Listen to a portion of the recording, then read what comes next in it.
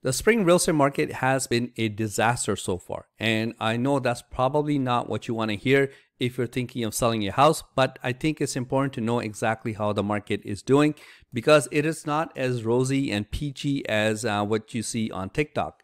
In fact, I had to go back all the way to April 2001 to find an April that was actually lower than what we experienced last month. So these stats are just for April only, uh, all the way from 2001 to 2024. So in 2024, last month, we had 7,114 homes sell. And like I said before, I had to go back over 20 years to find an April that was actually lower, and that was in 2001. Now, uh, somebody is going to say, Hey, Vic, what about this one? Why aren't you talking about this? Then I think obviously we all remember what happened in April 2020. So that's obviously that's why it was low. But so if you don't take that into account, if you're just looking at normal years, you have to go over uh, two decades to find something that was lower. So the market's not good. Uh, we're going to get into detailed stats in just a second, like these percentages and stuff like that. But uh, I just want to take about 20 seconds to say a big thank you because this channel just reached 5,000 subscribers, which is completely shocking to me and a pleasant surprise, obviously. So uh, thank you very much for all the support, all the comments, good, bad, anything, criticism. I'm all good. Like um, uh, you know i it helps me grow and learn. So thank you very much for all the support especially the ones who have been watching since the beginning. And um, yeah like when i started this channel i really had no expectations and stuff. And the only reason i would ask you to subscribe was just kind of just kind of made my day. It, it wasn't for any like making money because uh, this is a screenshot from yesterday. This channel is not monetized. Uh, i'm not making any money from this because you can see here i have not applied for monetization. So that's not the purpose of this channel. So let's get into the stats. Um, but yeah, a huge thank you for all the support. So the big difference between April of this year and April of last year is right here. Uh, sales are down, but sales are not down by much. Uh, sales went from 7,500 to 7,100. So that's not bad. But the biggest difference, the key difference is this gap right here, the gap between sales and new listings and sales and active listings, you can see the gap was very small. That's why you were seeing crazy numbers like lineups outside open houses and, you know, crazy 40, 50 offers on a house. But look at the gap now. The gap between sales and new listings and sales and active listings is huge.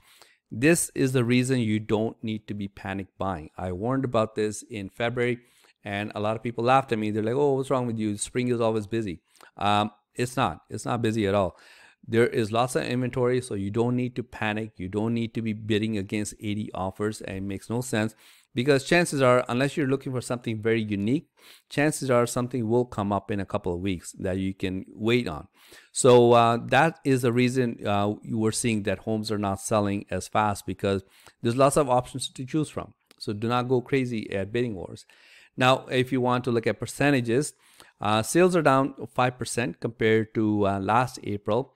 New listings are up 47% compared to last April. And the biggest difference is active listings are up 74%. That is huge. So lots of supply out there. So don't let anybody tell you there's not enough supply. There's lots of supply out there right now. And I don't see this changing by May. I think the number might go even higher in the month of May. And um, let's look at some more detailed stats because I want to cover months of inventory in this video because um, I, I think this is worth noting.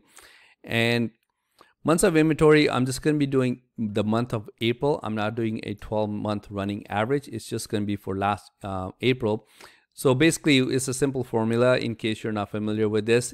If there are 25 homes for sale and there are only five buyers in the market, how long would it take all 25 to sell? Assuming there there are no new listings coming up and no new buyers coming up. So you just take 25 divided by 5, you have 5 months of supply.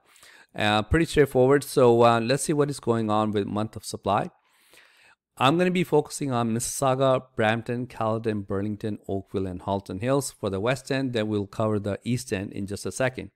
Out of all these cities, Brampton is struggling the most. Brampton is having a tough time right now because it went from less than one month of inventory back in April 2023 to almost three months. Right now, we're sitting at 2.6 months of inventory, and that's uh, that's a big jump even if you just look at March of this year. It went from 1.7 to 2.6.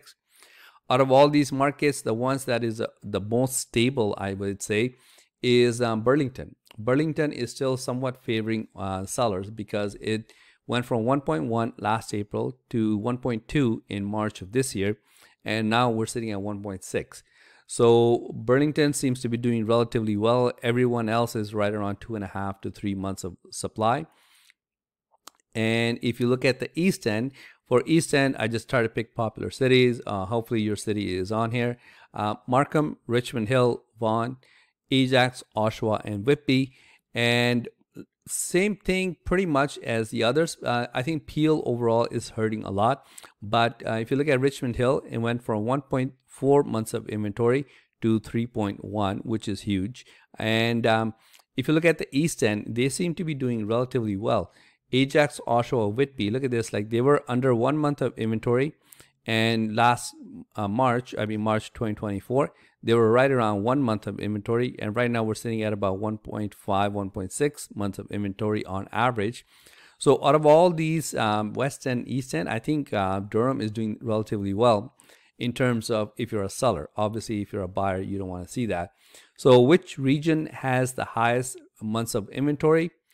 It's Toronto. Toronto right now has 2.9 months of inventory and Peel is not far behind. We are sitting at 2.6 and I think um, Brampton and Caledon are somewhat responsible for that.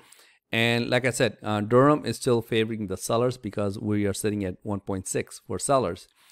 And uh, I will be doing market updates for Mississauga or Brampton, like Peel and Halton is usually what I cover in my market updates. So keep an eye for those in the next couple of days. Um, if you guys have any questions about the market or if you guys are thinking of buying or selling, you can contact me at this number. You can call or text, whatever's easier. I'll see you next time. Thanks. Bye.